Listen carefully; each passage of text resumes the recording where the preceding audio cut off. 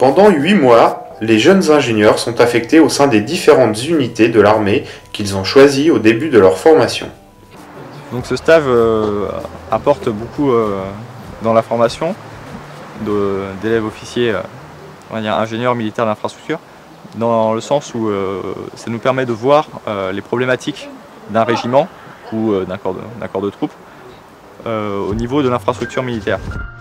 Faisant ce parcours militaire, on a aussi une connaissance de leur métier, de leur parcours, on sait par où ils sont passés, par où ils vont passer, et donc ça nous permet à nous de pouvoir mieux adapter les infrastructures qu'on aura à leur construire.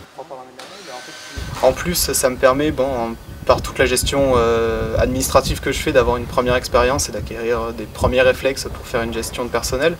Et en plus, bah, j'essaye de gérer une grosse partie des problèmes d'infrastructure qu'on peut avoir euh, dans l'ESTA.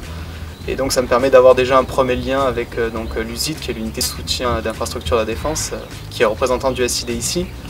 L'escadron de protection, je pense avoir développé ce sens de l'encadrement?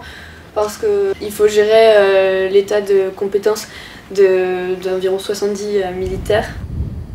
Au sein de l'armée de l'air, on nous proposait des activités aussi euh, très attractives euh, comme le parachutisme, les vols en mirage ou en fennec.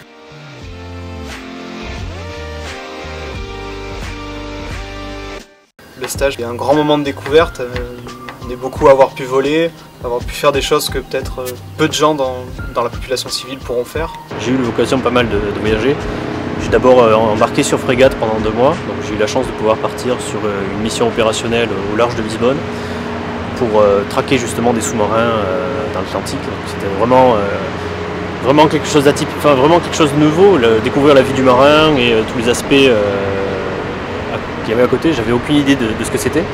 J'ai également pu faire une escale à, Dunkerque. Je ne m'attendais pas vraiment à trouver des, projets aussi grandiose, mais je suis vraiment, vraiment content de pouvoir justement euh, contempler euh, ce genre de projet d'infrastructure qui, qui, est vraiment atypique et qu'on ne retrouve vraiment nulle part.